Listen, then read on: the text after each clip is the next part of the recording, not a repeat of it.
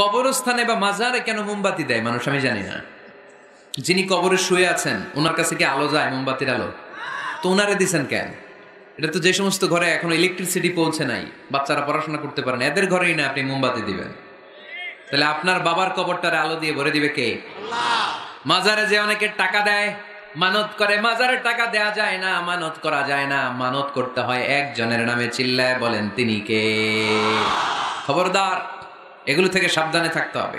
মাজার জিয়ারত করা শুননা কবর দেখলেই সালাম দেয়া শুননা জিয়ারত করা শুননা এর জন্য দোয়া চাইবেন, নিজের জন্য আল্লাহর কাছে দোয়া চাইবেন।